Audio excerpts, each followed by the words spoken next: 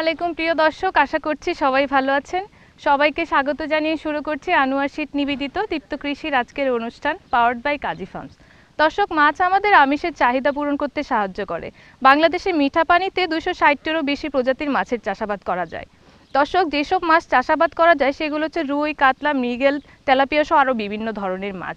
আজকে এই মাছ চাষের সার্বিক তথ্য আপনাদের মাঝে তুলে ধরতে আমি চলে এসেছি ফেনী জেলার সোনাগাজী উপজেলার সুজাপুর গ্রামে। এখানে অপু ভাই চল্লিশ একর জমির উপর একটি মাছের প্রকল্প গড়ে তুলেছেন। সেই মাছের প্রকল্পে তিনি কীভাবে মাছ চাষ করছেন তারই সার্বিক তথ্য আপনাদের মাঝে তুলে ধরবো। আশা করছি পুরো আয়োজন জুড়ে আপনারা আমাদের সাথে থাকবেন। আর আমি সুচি আজকে আছি আপনাদের সাথে।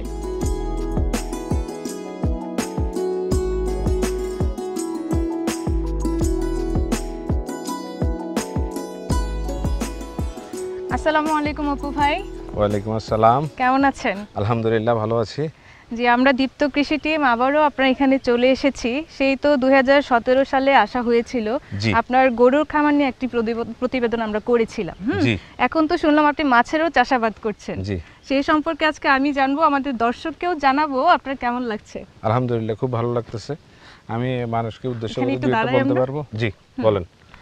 গরুর খামার কি এখন নেই? গরুর খামার আছে আমার কিন্তু গরুর খামারে আমি বড় একটা লস খাইছি লস খাইছি মানে এমন একটা ডিজিজ আসছে যেটা প্রোটোজোয়া বলে এটাকে অ্যানাপ্লাজমাসিস মানে অ্যাজ লাইক মানুষের ব্লাড ক্যান্সার যেরকম এরকমই। আচ্ছা এটা কি সব সব গরুর ক্ষেত্রে একই সমস্যা হয়েছে সব সব গরুর ক্ষেত্রে হয়েছে কিছু গরু সার্ভাইভ করছে তো আমার সাতটা বড় বড় গাভী মারা গেছে। এক আচ্ছা। একটা গরুর দাম প্রায় তিন লাখ চার লাখ করে আর প্রায় তিরিশ লাখ টাকার এক গরু মারা গেছে। আচ্ছা। ওইটা মারা যাওয়ার পর আমি চিন্তা করলাম যে বিকল্প আমাকে কিছু একটা তো করতে হবে। আচ্ছা। তখন আমি মাছে আসি।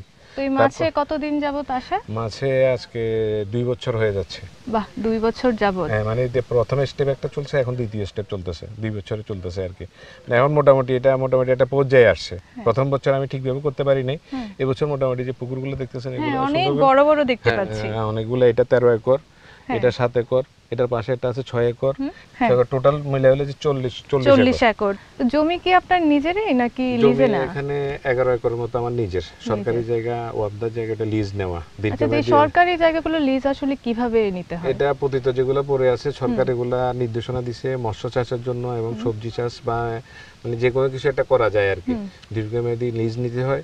আপনি যখন পরবর্তীতে যদি সরকার কখনো দরকার হয় তখন সরকার নিয়ে যাবে আর কি। কিন্তু যতক্ষণ পর্যন্ত সরকারের কোনো কাজে লাগবে না অনাবাদি পড়ে আছে পতিত পড়ে আছে ততক্ষণ পর্যন্ত আমরা ব্যবহার করতে পারব। আপনি কি নির্দিষ্ট কোনো একটা সময় বুঝে নিয়েছেন? মানে হ্যাঁ, এত আমাদের বছরের জন্য- আমাদের জন্য পাঁচ পাঁচ বছর পাঁচ বছর করে আমাদেরকে লিজ দেয়। এক আচ্ছা। এক লিজে পাঁচ বছর আর কি। মানে প্রত্যেক বছর আমরা ইজারার টাকাটা পরিশোধ করে দেই। পাঁচ বছর পরে এটাকে আবার রিনিউ করতে হয় নতুন করে। আর মাছ চাষাবাদের ক্ষেত্রে তো পুকুর নির্বাচন খুবই গুরুত্বপূর্ণ একটা বিষয়। বিষয়। এটা সম্পর্কে একটু জানতে চাই কীভাবে আসলে পুকুর নির্বাচন করতে আমরা মানে যদি আশপাশে যদি গাছ গাছালি যদি না থাকে মানে রৌদ্র যেটাতে বেশি পড়ে আর যদি বাতাসটা থাকে যেমন দক্ষিণ মানে দক্ষিণ দিকে বাতাস বয় যে পুকুরে পু- দক্ষিণ দিকে মনে করেন উত্তর দিকে বাতাস বয় যে ওই পুকুরে মাছটা সবচেয়ে বেশি বড় হয় আচ্ছা। খুব দ্রুত বড় হয়। আচ্ছা। আমরা এখানে মিঠা পানির মাছগুলো আমরা চাষ করি। আমার এখানে যেমন তেলাপিয়া আছে তারপরে রুই আছে কাতল আছে মৃগেল আছে কালীবাউস আছে কার্পু আছে আচ্ছা। ঠিক আছে চার পাঁচ পাঁচ পাঁচ রকমের মাছ আছে। মিশ্র মিশ্র মিশ্র চাষ হ্যাঁ, আচ্ছা। এটার ভিতরে দেখা যায় আমরা সাদা মাছ বলি আর কি। মিশ্র ওই যে মাছগুলো আমরা তেলাপিয়ার সাথে আর যেগুলো আছে ওগুলোকে আমরা সাদা মাছ বলি। আচ্ছা। তেলাপিয়াটা আপনার দিই মনে করেন প্রতি একরে দশ হাজার বারো হাজার মাছ দিই। আর এটার সাথে সাদা মাছ দিই চার থেকে পাঁচ হাজার। আর এটার সাথে আমাদের এখানে আমরা নদীর থেকে অনেক সময় ওই যে ট্যাংরা মাছ বলে ট্যাংরা মাছ বাটা মাছ এই মাছগুলো আমরা অনেক সময় দিই। এটা কিন্তু মানে অতিরিক্ত হিসাবে আসে। আচ্ছা। এটার বাজার মূল্য অনেক ভালো। আচ্ছা ভাই এই যে ট্যাংরা মাছ আর বাটা মাছের কথা বলছেন এগুলো যে বড় মাছের সাথে রাখছেন কোনো সমস্যা হচ্ছে? না না আমাদের এখানে কোনো সমস্যা নেই। আমরা তো রাখছি এবং ওটা আপনার আমাদের মানে তেলাপিয়া মাছগুলো আমরা বিক্রি করি একশো বিশ টাকা তিরিশ টাকা। আচ্ছা। ঠিক আছে? আর আমরা যে সাদা মাছ যেটা বললাম ওই সাদা মাছটা আমরা বিক্রি করি একশো ষাট টাকা সত্তর টাকা। আর আমরা যে ট্যাংরা মাছ আর বাটা মাছ বললাম ওটা আমরা বিক্রি করি চারশো টাকা পাঁচশো টাকা। আচ্ছা তাহলে এই যে মাছের চাষাবাদ করছেন? পুকুর প্রস্তুতির তো একটা বিষয় আছে হ্যাঁ পুকুর প্রস্তুতির অবশ্যই বিষয় আছে। আপনি দেখতেছেন না এই যে পুকুরগুলোতে আমরা এই যে নেট দিয়ে রাখছি তারপরে আপনার ওই যে তেরপাল দিয়ে রাখছি পুকুরের। শেষ দেওয়ার পরে নেটগুলো কেন দিচ্ছেন? নেটগুলো দিচ্ছে মাটিটা যেন সরে না যায়। আচ্ছা। মাঠগুলো সর- আচ্ছা। মাটিগুলো সরে না যাওয়ার পরিপ্রেক্ষিতে মা যতই ঢেউ খেলুক ঢেউ লাগুক মাটি সরবে না। আচ্ছা। মানে পাটটা সঠিক থাকবে। হ্যাঁ। আমার সবচেয়ে গুরুত্বপূর্ণ হলো পাটটা সঠিক থাকা। কতদিন পর পর সেচ দিচ্ছেন? না আমরা তো। বছরে একবারই সেচ দিই মূল্য মানে পানি কমাই পানি কমাই আমরা মাছটা ধরে ফেলি। আচ্ছা। তারপর আমরা তেলাপিয়া মাছটা আমরা প্রতি তিন মাস অন্তর অন্তর চার মাস অন্তর অন্তর একবারই বিক্রি করি। আর আমরা যে সাদা মাছটা আছে ওই সাদা মাছটা আমরা সাত মাস আট মাস পরে বিক্রি করি। রেনু কোন জায়গা থেকে সংগ্রহ করে রেনু আমরা এখানে সরকারি মৎস্য খামার আছে। আচ্ছা। মৎস্য খামার থেকে নেই তারপরে ব্যক্তিগতভাবে অনেকে মাছের চাষ করে অনেকে ব্যক্তিগতভাবে ইয়ে করে। ওদের থেকে আমরা সংগ্রহ করি। এবং আচ্ছা। বাইরের থেকেও অনেকে মানে যে রাজশাহী ময়মনসিংহ ওইসব অঞ্চল থেকেও রেনুগুলো আসে। আমরা। ওখান থেকে ওগুলো সংগ্রহ করি। ভাই তাহলে পোনা মজুদ কীভাবে করছেন? যে পোনা মসজিদে যে আমাদের যখন মাছ এই যে পুকুরগুলো তো অনেক পুকুর এগুলোর থেকে আমাদের মাছ চাষগুলো যখন শেষ হয়ে যায় মাছগুলো বিক্রি করে ফেলে। আচ্ছা। বিক্রি করার পরে আমাদের এখন নতুন করে ফোনার প্রয়োজন হয়। আচ্ছা। তখন ওই মুহূর্তে আমরা মানে দুইটা বা তিনটা পুকুর নির্বাচন করি ছোট ছোট পুকুরগুলো দুই একর তিন একর এরকম পুকুরগুলো নির্বাচন করি। নির্বাচন করে সেচ দিয়ে ওগুলোকে একদম শুকাই ফেলে। আচ্ছা। শুকাই ফেলে এবং আগাছা টাগাছা সব পরিষ্কার করে ফেলে ওটাতে আমরা চুন এবং পটাশ আচ্ছা এই দুইটা জিনিস দিয়ে আমরা এটারে একদিন দুই দিন রাখি শুকাই ফেলি শুকাই ফেলার পরে এবার আমরা হালকা পানি দিই। হালকা পানি দেই হ্যাঁ হালকা পানি। মোটরের মাধ্যমে পানি দিলে হ্যাঁ, ভালো হয় নাকি বৃষ্টির পানিটা হলে সবচেয়ে বৃষ্টির পানি হলে সবচেয়ে বেটার হয় কিন্তু আচ্ছা। বৃষ্টির পানি তো সবসময় পাওয়া যায় না। আচ্ছা। এই জন্য আমরা মোটরের পানির উপরে নির্ভরশীল করি বেশিরভাগ। মোটর পানি দিয়ে আমরা পানি দেওয়ার পরে তারপর আমরা মাছগুলা ছাড়ি। ঠিক আছে আচ্ছা। আমরা অনেক সময় ওই যে মশারির মতো করে আলাদা আলাদা করে রাখি আবার অনেক সময় মানে পুরো পুকুরে ভরপুর পানি তো হচ্ছে মশারির ভর- মধ্যে করে হ্যাঁ, আলাদা হ্যাঁ, করে হ্যাঁ, আলাদা আলাদা আর করে না হলে এভাবে সেচ করে তারপর হ্যাঁ, হচ্ছে শেষ করে আমরা দেই আর ভাই অনেকক্ষণ তো এখানে দাঁড়িয়ে কথা বললাম। আজকে কি মাছ টাছ ধরা হচ্ছে? এত বিশাল খামার অবশ্যই ধরা হয়। প্রত্যেক দিনে মাছ ধরা হয়। এখন ধরা হচ্ছে? হ্যাঁ অবশ্যই ধরা হচ্ছে। তাহলে চলুন সেটা দেখে আসি। আমিও দেখি আমাদের দর্শককে দেখাই যে আসলে কেমন মাছ হয়েছে আপনার। আচ্ছা জি, ইনশাল্লাহ চলুন। আচ্ছা।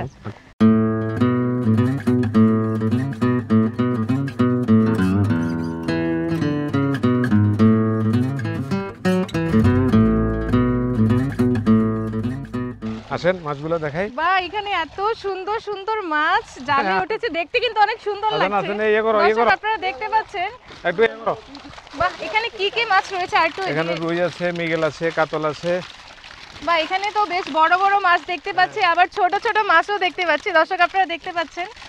ভাই এই যে এখানে নানান ধরনের মাছ দেখতে পাচ্ছি। খাবার কি এদেরকে আলাদা আলাদা ভাবে দিতে হবে? না না না না না না এগুলা সবগুলা একই খাবার খাওয়াই আমরা যে আচ্ছা। ছোট থাকতে যেটা ছোট হ্যাঁ। থাকতে পার্থক্য আছে কিন্তু বড় হয়ে যাওয়ার পর আর পার্থক্য দরকার এই যে ছোট বড় একসাথে রাখছে না এই যে আমরা বড় যেগুলো সাইজ হয় ওগুলো উঠে নিয়ে বিক্রি করে ফেলে আর ছোটগুলো আবার সাইজে চলে আসে। এইভাবে মানে আচ্ছা। পর্যায়ক্রমে আর কি। সাদা মাছগুলো শুধু আলাদা থাকে। এই যে তেলাপিয়াটা যেটা সাইজ হয় তেলাপিয়া একটা ধরে দেখাতে চাই আমাদের দর্শকদের। একটা বড় তেলাপিয়াটা। তেলাপিয়াটা বড় তেলাপিয়াতে তো। এই যে এটা এই তেলাপিয়াটা তো অনেক বড়। এটা। এটার ওজন কতটুকু হবে আনুমানিক? তিনটা কেজি হবে। তেলাপিয়া সাইজ তো এখানে বিভিন্ন রকমের হ্যাঁ দেখতে পাচ্ছি। কিছুটা এটা তিনটা এটা তিনটা কেজি আর হবে। কিছুটা হচ্ছে বড় দেখতে আর- আর পাচ্ছি। একটু সাইজ হলে এটা আমরা বিক্রি করে ফেলব। আচ্ছা। আর আর এই যে তেলাপিয়া মাছের একটা সমস্যা আছে হাতে হচ্ছে কাটা দেয় আমার কিন্তু অলরেডি না না দিয়েছে। নর্মাল হাতে ধরতে মানে চাপ দিতে চাপ দিতে পারবা না জাস্ট এমনি এমনি ধরে রাখতে হবে নর্মাল আচ্ছা এই যে দেখতে পাচ্ছেন এরকম কিন্তু ওই যে তিনটা সাইজের মাছ মোটামুটি কেজি ওজনের হবে। এ ভাই বলছেন না ভাই? হ্যাঁ হ্যাঁ এটা দুইটা হইলে আমরা বিক্রি করে ফেলব। এই তেলাপিয়া বাজারের মূল্য কেমন এখন বর্তমানে? টাকা চল্লিশ টাকা কেজি চলতেছে। আর যারা মাছ চাষ করেন তারা কিন্তু প্রচুর এই তেলাপিয়া মাছের প্রতি আগ্রহ বেশি মানে বাংলাদেশের প্রোটিনের চাহিদা মেটানোর জন্য তেলাপিয়া এবং পাঙ্কাস হ্যাঁ। এই দুইটা মাছের উপরে বেশি নির্ভরশীল। আচ্ছা। আর মাছগুলো যেগুলো আছে এগুলো অপশনাল এই পড়ে গেলে আবার দিল এই যে দেখছেন রক্ত বের হয়ে গেছে একেবারে।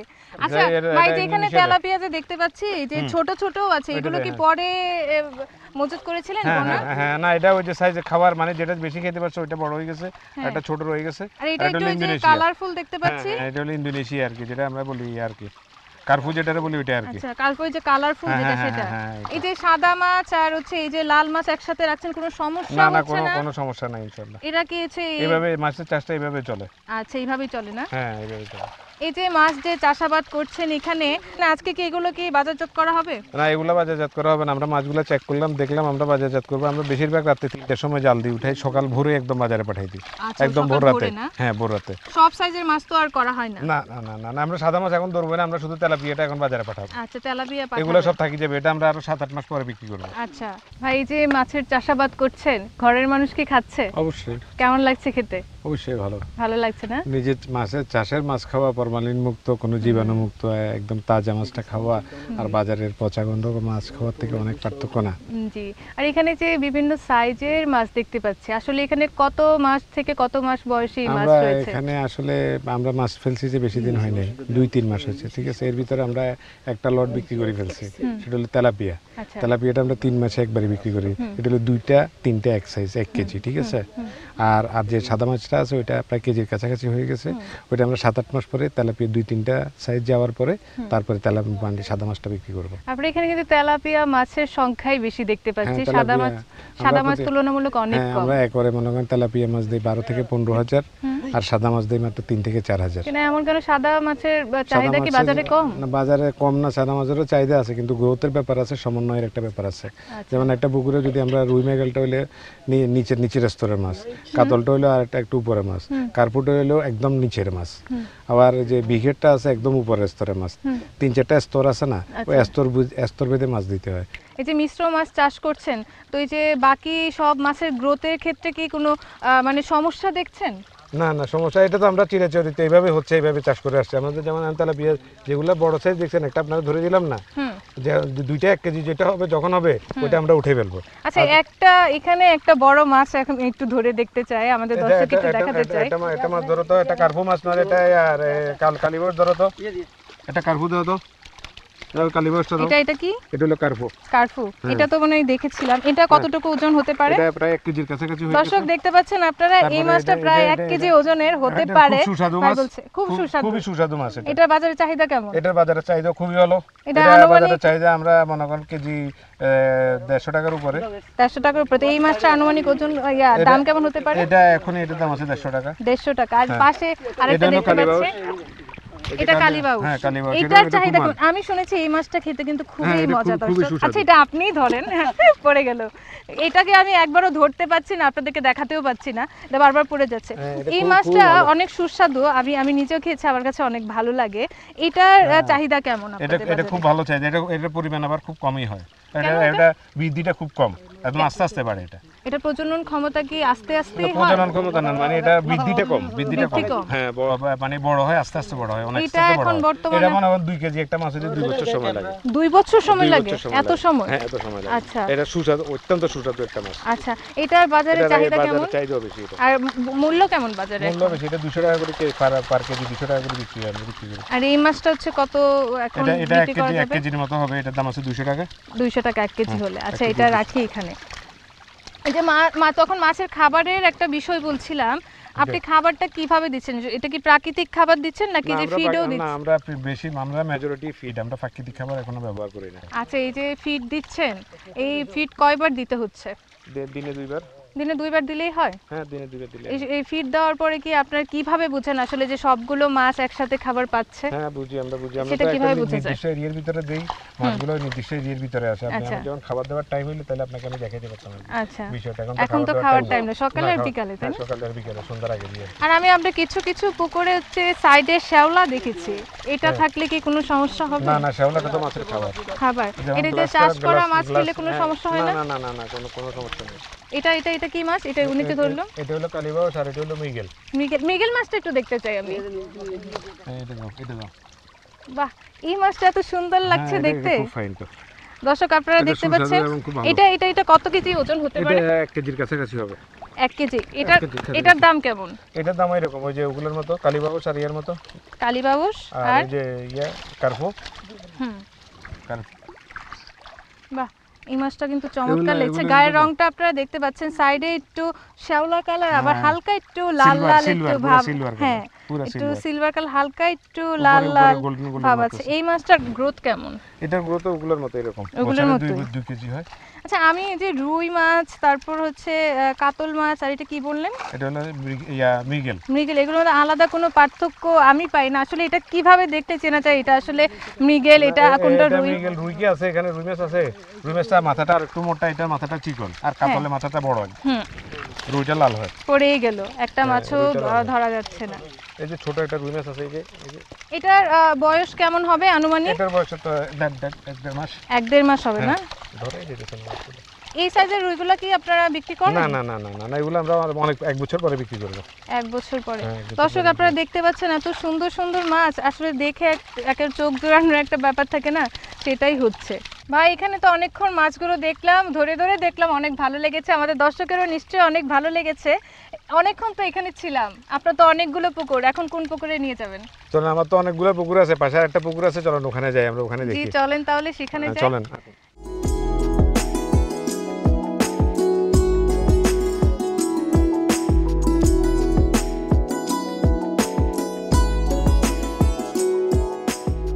অনেক তো মাছ দেখলাম সুন্দর সুন্দর অনেক ভালো লেগেছে। আশা করছি দর্শক আমাদের দর্শকেরও অনেক ভালো লেগেছে।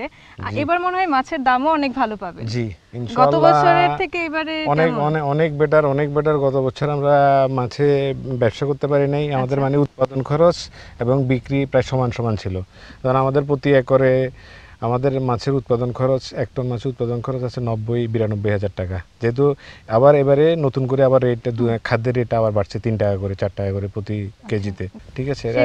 মাছের দামটাও বেশি হ্যাঁ মাছের দামও এবারে ভালো পাইছি আমরা মানে আমাদের যে মানে তেলাপিয়া মাছটা যেটা আমাদের মেন ওটাতে আমরা পাচ্ছি প্রায় প্রতি টনে এই পঁচিশ এক লাখ পঁচিশ তিরিশ। আর সাদা মাছ যেটা এটাতে পাচ্ছি ষাট সত্তর করে। এগুলো চাষ করতে খরচ কেমন পড়ছে? ওই যে প্রতি একরে বললাম বিরানব্বই বিরানব্বই। পঁচানব্বই লাভ তো মনে হয় ভালোই এবারে মানে গতবারই তো অনেক লস দিছি এবারে হয়তো কিছুটা রিকভার হয়ে আসবে। আপনার কাছে আরেকটু জানতে চাই যে আপনি মাছের চাষাবাদ করছেন আজকে আমাদের যারা দর্শক আছে তারা যদি আপনাকে দেখে এই মাছের চাষাবাদ করতে চায় হ্যাঁ, সেক্ষেত্রে তারা অল্প সময়ে বা অল্প খরচে কীভাবে এই মাছের চাষাবাদ করতে পারে? তাদেরকে মানে কমপক্ষে মানে এক একর যদি একটা পুকুর চাষ করে তাহলেও সে একটা ফ্যামিলি চলার মতো ব্যবস্থা সে করতে পারবে। প্রথমে কোন মাছ এক এক করে মনে করেন এক করে আমরা ওই যে তেলাপিয়াটা দিল ওটা মনে করেন রাউন্ড আপে থাকল হচ্ছে আচ্ছা। সাদা মাছ দিল। হ্যাঁ। তেলাপিয়াটা সে আস্তে আস্তে বিক্রি করে ফেলল ওতে তিন মাস চার মাস অন্তর অন্তর বিক্রি করে ফেলব আর সাদা মাছটা থেকে গেল। সাদা মাছ যে বললেন সাদা মাছ কোন মাছটা দিয়ে যে রুই? মৃগেল কাতল এগুলো গ্রোথ মনে অনেক ভালো হ্যাঁ এগুলা বছরে আপনি যদি সঠিকভাবে এটাকে খাবারটা দেন তাহলে একটা মাছ কমপক্ষে দুই কেজি হবে। বাহ। ভাই যে চল্লিশ একর জমির উপরে মাছের চাষাবাদ করছেন প্রশিক্ষণ তো নিয়েছিলেন? অবশ্যই যুব উন্নয়ন থেকে একটা প্রশিক্ষণ আমার আছে ছোটখাটো প্রশিক্ষণ। আর এই দুই তিন মাসের একটা প্রশিক্ষণ ছিল। ইনভেস্ট কত করেছিলেন? ইনভেস্ট তো অনেক টাকা। মাছের এখানে তো অনেক টাকা ইনভেস্ট প্রায় এক কোটি টাকার উপর ইনভেস্ট আছে। এই যে মাছ চাষাবাদ করছেন এটা নিয়ে আপনার ভবিষ্যতে কি কি পরিকল্পনা আছে আর? আমার ভবিষ্যৎ পরিকল্পনা আছে তো আপনারা এখন তো জায়গাটা দেখতেছেন আশা করি আগামী দুই চার বছর পরে আসলে এই জায়গাটা চিনা যাবেন। এটাকে আমি ওইভাবে সুন্দর করে ফার্কের মতো করে ফেলব। দেখতে কিন্তু আসলে লাগাবো। পরিবেশটা কিন্তু অনেক সুন্দর হ্যাঁ, লাগছে দর্শক আপনারা দেখতে পাচ্ছেন। হ্যাঁ মাছের মাছে মানে সুন্দর করে ফেলব আরও আর বড় আকারে পরি- বৃহৎ পরিকল্পনা আছে আর কি। কি কি এখন যদি আমি যদি লাভবান হইতে পারি এখানে আমি গরুর খামার করার খেয়াল আছে আচ্ছা। তারপরে হাঁসের খামার করার খেয়াল আছে। আমি এখানে মনে করেন এখানে যদি দুই চার হাজার হাঁস যদি চড়ানো থাকে তাহলে কিন্তু মাছের জন্য ভালো। মাছের অনেক খাবার আমার কিন্তু কম লাগবে। আমি ওখান থেকে একটা আয়ের চিন্তা ভাবনা করতেছি। আচ্ছা। ভাই আপনার ভবিষ্যৎ পরিকল্পনা শুনে অনেক ভালো লাগল। আপনার প্রতি শুভকামনা রইল। আপনি যেন সেটা সঠিকভাবে পূরণ করতে পারেন। ভাই যে এখানে দেখতে পাচ্ছি এত চওড়া করে একটি পাট দিয়েছেন এটা কেন দিয়েছেন? আমি আসলে যে সম্মিলিত খামার বলছি না হ্যাঁ। এই জন্য আমা- আমি এখানে ড্রাগনের চাষ করব তার পেঁপে ড্রাগন পেঁপে রেড রেড লেডি একটা পেঁপে আছে খুব হ্যাঁ, ভালো। হ্যাঁ। এগুলা চাষ করব ওগুলোর গাছগুলো লাগাবো এই গাছগুলো। জন্য এখানে হ্যাঁ ওই এটার জন্য চড়া রাস্তাটা রাখছি। আচ্ছা ভাই এই যে আপনি এই যে মাছের চাষাবাদ করছেন আরও কি কোনো সমস্যার সম্মুখীন হচ্ছেন? হ্যাঁ হয়তো মাঝে মাঝে মাঝে তো আছে মাঝে মাঝে মাছের কিছু এই যে বললাম পচা রোগ। তারপরে যে পোকা বেশিরভাগ এই দুইটাই বেশি আমাদেরকে সমস্যায় ফেলে। ওইটা হলে সাথে সাথে মনে করেন হয়তো ব্যাট দিল বা জাল মারলো একটা মাছ বা খাবার দেওয়ার সময় একটা মাছ আসছে ওই দেখল যে মাছটাতে পোকায় আসছে। বা হয়তো মাছে একটা পচন আসছে যে পারে দেখছেন না দুই একটা মাছ পড়ে আছে। জাস্ট ওই তখন আমাদের সাথে সাথে ব্যবস্থা নিতে হয়। তখন কি ব্যবস্থা নিয়ে যে আমরা ওষুধগুলো প্রয়োগ করি। ওষুধ কি নিজেই গিয়ে নিয়ে আসেন হ্যাঁ, নাকি ডাক্তারের না পরামর্শ ডাক্তারের পরামর্শ তো আছে আর আমাদের নিজের প্র্যাকটিক্যাল তো ব্যবস্থা আছেই। আমরা আমাদের আশপাশে তো অনেক মাছ চাষি আছে সবার সাথে পরামর্শ করে আচ্ছা। আর সবাই পরামর্শ করে আমরা তারপরে ওষুধগুলো প্রয়োগ করি আর কি। আপনার সাথে আজকে কথা বলে অনেক ভালো লাগল। আপনাকে অসংখ্য ধন্যবাদ আমাদেরকে সময় দিয়েছেন। আজকে আমাদের এখানে সময় একেবারে শেষ আপনার কাছে বিদায় নিতে হবে। আচ্ছা ধন্যবাদ। দীপ্ত কৃষিকেও ধন্যবাদ এবং দীপ্ত কৃষির দর্শকদেরকেও আমার পক্ষ থেকে ধন্যবাদ। আপনি ভালো থাকবেন সুস্থ থাকবেন। আল্লাহ হাফেজ। আল্লাহ হাফেজ। আসসালামু আলাইকুম। কৃষি বিষয়ে যে কোনো তথ্য জানতে ও জানাতে লিখতে পারেন এই ঠিকানায়। দীপ্ত কৃষি, প্লট, সাত বাই এ, বাই গ, তেজগাঁও শিল্প এলাকা, ঢাকা, এক দুই শূন্য আট। আপনারা চাইলে ইমেল করতে পারেন কৃষি অ্যাট দীপ্ত ডট টিভি এই ঠিকানায়। অথবা ফোন করতে পারেন শূন্য এক সাত আট, সাত ছয় আট, দুই আট তিন দুই নম্বরে। শুক্রবার ছাড়া প্রতিদিন সকাল নয়টা থেকে বিকেল পাঁচটা পর্যন্ত। দর্শক, আজকে সারাদিন অপু ভাইয়ের মাছ চাষের সার্বিক তথ্য আপনাদের মাঝে তুলে ধরার চেষ্টা করেছি। আশা করছি আপনাদের ভালো লেগেছে। আপনারা যারা নতুন উদ্যোক্তা আছেন, যারা কৃষি কাজ শুরু করতে চাচ্ছেন বা খামার দিতে চাচ্ছেন, তারা কিন্তু চাইলে এই মাছ চাষ দিয়ে শুরু করতে পারেন। সবার প্রতি শুভকামনা রেখে আজকের মতো বিদায় নিচ্ছি। আনোয়ার শীত নিবেদিত দীপ্ত কৃষির অনুষ্ঠান থেকে পাওয়ার্ড বাই কাজী ফার্মস সবাই ভালো থাকবেন, সুস্থ থাকবেন। আল্লাহ হাফেজ।